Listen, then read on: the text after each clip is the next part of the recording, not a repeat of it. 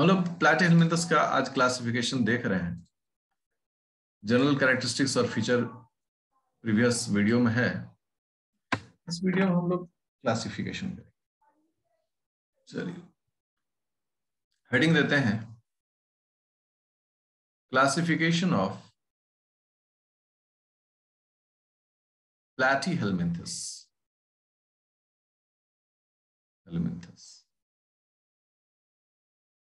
अगर प्लाटी हेलमेंथस को क्लासिफाई करें हम लोग। तो दो बेसिस इसका लिया गया। पहला लिया गया डाइजेस्टिव ट्रैक्ट और दूसरा लिया free living and parasites parasitic forms दोनों को मिलाकर बांटा गया और इस आधार पर इसमें तीन क्लास बांटे गए। सबसे पहला क्लास जो है, उसका नाम है टर्बिलेरिया। ठीक है? जहाँ पर टर्बेल का मतलब क्या होता है? टर्बेली का मतलब रो। रो मतलब होता है एक कतार। Class two. इसका नाम है ट्रिमेटोडा। ठीक है? इसका नाम हो गया ट्रिमेटोडा। और यहाँ ट्रिमेटोड्स का मतलब होता है होल। ट्रिमेटोड्स का मतलब होता है होल और फ्लूक। मतलब वही एक ही है। इसमें कुछ छेद तीसरा क्लास जो है we all know Cestoda. Cestoda. Cestoda का क्लियर कट मतलब होता है। सिस्टस का मतलब होता है टेप। टेप वर्म का परिवार है, ऊपर फ्लूक का परिवार है, बटा हुआ है। अगर इन तीनों की बात करें, ये परिवार है फ्री लिविंग्स का। इसमें सारे मेंबर खुद से बनाते हैं और ये दोनों जो है वो पैरासाइट एक ऐसे कॉमन दिमाग में आ जाता है अच्छा दोनों टोडा जो है ना, वो बीमार करेगा इंसानों को। बढ़िया बात अब क्लास वन की बात करें। क्लास वन जो हमारा है फ्री लिविंग का परिवार है तो डायसिस ट्रैक्ट भी बड़ा तगड़ा होगा इसमें। इसका नाम है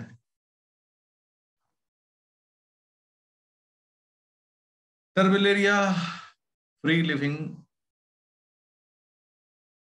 free living flat worms ठीक है ना? क्योंकि फ्लैट हेलमिंथस को फ्लैट वर्म बोलते हैं तो ये हो गया तीन। तीनों जगह पर रहते हैं ठीक है ना? फ्रेश वाटर मतलब वाटर लैंड एंड सी तीनों जगह। Fresh water marine and land तीनों जगह रहने वाले हैं ये ठीक है? इसमें कुछ ऑब्जेक्शनेबल ही है एक आध दो, दो एक्सेप्शन है जो कि कमेंसिंग या फिर पैरासाइट भी मिलते हैं, लेकिन मोस्टली हम कह देते हैं, ऐसे ये ज़्यादा अच्छा रहेगा ना मोस्टली एक आध एक्सेप्शन है? बायोलॉजी जो है ना एक्सेप्शन है लीफ लाइक दिखते हैं पत्ती नुमा इनका शेप होता है। प्लेनेरिया का स्ट्रक्चर तो सब देखे हैं। डुजेशिया का। ऐसे पत्ती के नुमा इनका शरीर दिखता है। बाकी तो नॉर्मली जैसा है, वैसा ही रहता है। सीलिएटेड इपिडर्मिस होता है। एपिडर्मिस सीलिएटेड होता है। और मौत जो है वो प्रेजेंट है। मौत प्रेजेंट होता है। ठीक है? डाइजेस्टिव ट्रैक्ट भी प्रेजेंट होता है। प्रेजेंट होता है। ये सब इसमें जैसा है वैसे मौजूद रहता है इसमें। ठीक है? साथ ही क्या है कि अगर इसमें हम लोग देखें कि ये सेक्सुअल रिप्रोडक्शन कैसा होता है? ये सेक्सुअल रिप्रोडक्शन अगर को देखें तो वही transverse binary fission binary fission इसमें दिखेगा। ये सेक्सुअल रिप्रोडक्शन की बात है। और अगर सेक्सुअल रिप्रोडक्शन हो तो हम सब जान रहे हैं कि इसमें ओवेरी और टेस्टिस होगा। तो अ पेयर ऑफ़ ओवेरी एक जोड़ा ओवेरी एंड मेनी टेस्टिस और बहुत सारे टेस्टिस होंगे यूनिक फीचर है ये। एक पेयर ओवेरी और बहुत सारा टेस्टिस बॉडी जो होता है वो हर्मा हर्माफ्रोडाइट होता है। हर्माफ्रोडाइट हर्माफ्रोडाइट का मतलब हो गया, एक ही बॉडी में दोनों सेक्सुअल ऑर्गन्स होते हैं। ओवेरी भी और टेस्टिस भी ये हो गया इसका सेक्सुअल रिप्रोडक्शन का। डेवलपमेंट डायरेक्ट है, इसमें कोई लार्वा और जल्दी दिखता नहीं है। डायरेक्ट होगा तो लार्वा नहीं दिखेगा, हमेशा याद रखिएगा। डायरेक्ट डेवलपमेंट कोई लार्वा चीज़ इसमें नहीं होता है। ठीक है? अब इसका जब एग्ज़ाम्पल की बात आती है, इसके एग्ज़ाम्पल की बात आती है। एग्ज़ाम्पल में जो सबसे पॉपुलर है, उसको हम लोग बोलते हैं प्लान प्लानेरिया या इसको दूसरे वर्ड में बुलाता है, डुजेसिया। ठीक है तो Dugesia is also called Planaria. इसके अलावा दूसरा एग्ज़ाम्पल अगर आप देखें तो बायपेलियम है। लेकिन ये जो है, वो जाना जाता है प्लेनेरिया या डुजेसिया से ही। इसको जाना और पहचाना जाता है। और अगर कोर्स में रहता भी अगर पढ़ना तो बेसिकली प्लान एरिया की ही बात होती है। ये हो गया पहला क्लास इसका नाम था टर्बलेरिया अब दूसरा क्लास देखा जा रहा है। Class two that is called Trematoda Trematoda के बारे में हम लोग बोलते हैं कि यहाँ फ्लूक्स मिलते हैं। ठीक है ना? फ्लूक्स इसकी अगर एग्ज़ाम्पल की बात करें हम लोग सीधे एग्ज़ाम्पल से शुरू करते हैं। जैसे फैसियोला फैसियोला हिपैटिका ये इसको बोलते हैं लीवर फ्लू। ये लीवर में इंफेक्शन क्रिएट करता है। Liver fluke. उसके अलावा है सिस्टोसोमा। ठीक है? सिस्टोसोमा जो है, उसे बोला जाता है blood flu.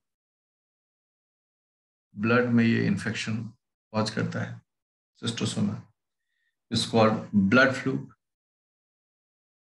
Opistho. Opistho orchis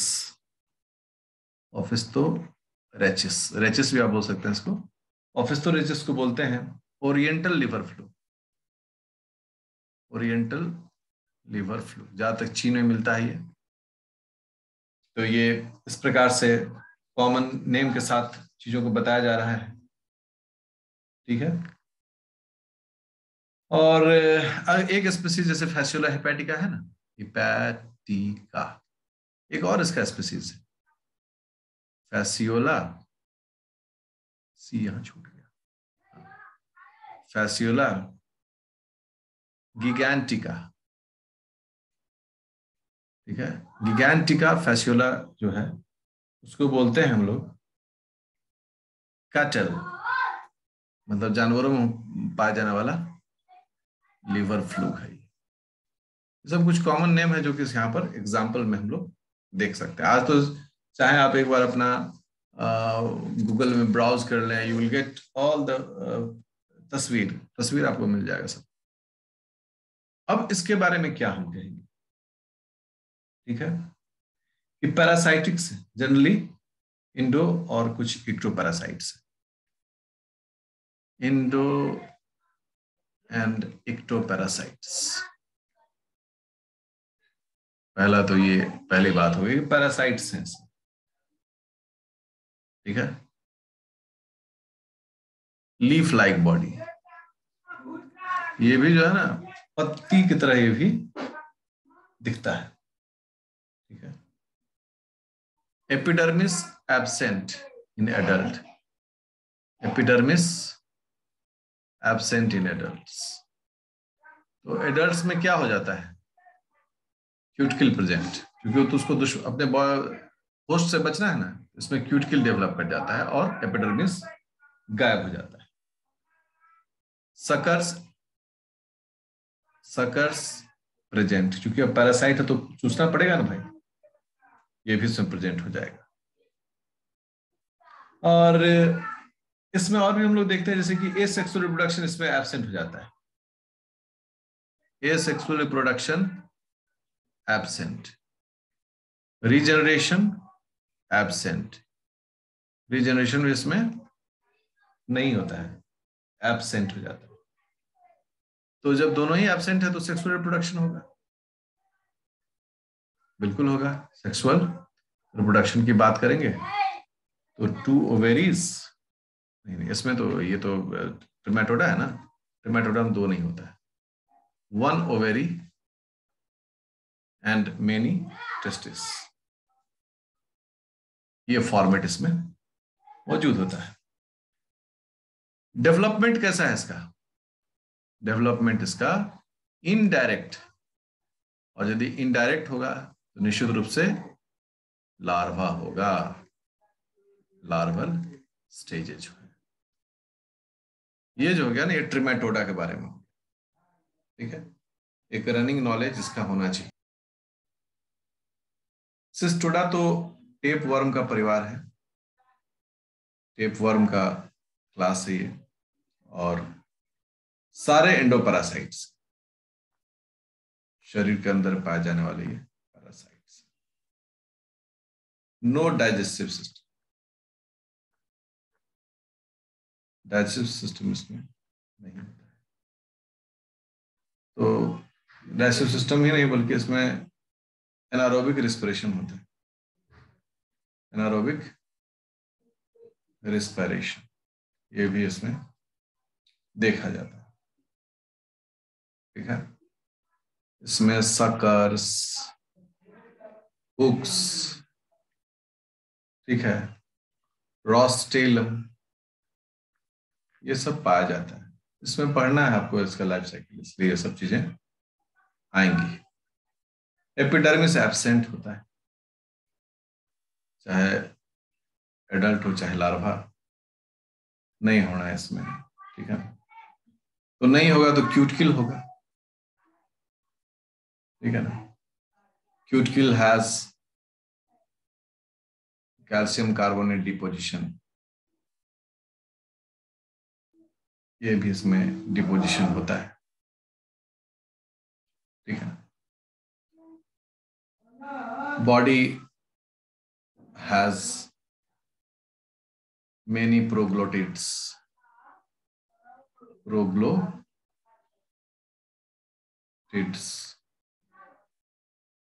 ठीक है ना? और ये हम सब जानते हैं कि बड़ी कारण बनता है।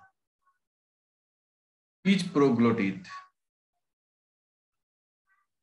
एक में इसको प्रोग्लोटिड्स बोलते हैं। Proglottis each proglottis is hermaphrodite hermaphrodite मतलब कहने का साफ़ है कि हर एक टुकड़े में male and female sex organs मौजूद रहते हैं। वन पेयर ओवेरी हर एक टुकड़े में, हर एक टुकड़े में एक जोड़ा ovaries and many testis many testis मौजूद है। रिबन लाइक बॉडी तभी टेप वर्म इसको बोलते हैं फीता कृमि बॉडी होता है। डेवलपमेंट इनडायरेक्ट डेवलपमेंट इनडायरेक्ट तो लार्वा मौजूद। लार्वा फाउंड लार्वा मिलता है इसमें। इसमें जो एग्ज़ाम्पल है, उसमें तो एक विख्यात एग्ज़ाम्पल है। That is called Taenia solium pork tape worm कहते हैं इसे। पोर्क टेप वर्म कहा जाता है मैन इसका प्राइमरी होस्ट होता है, जबकि सेकेंडरी होस्ट जो है वो पोर्क होता है। टीना टेनिया के और भी स्पेसीज हैं, टेनिया सैजिनाटा। टेनिया सैजिनाटा जो है, वो बीफ टेप वर्म है। ठीक है ना? ये इसका एक एग्ज़ाम्पल है।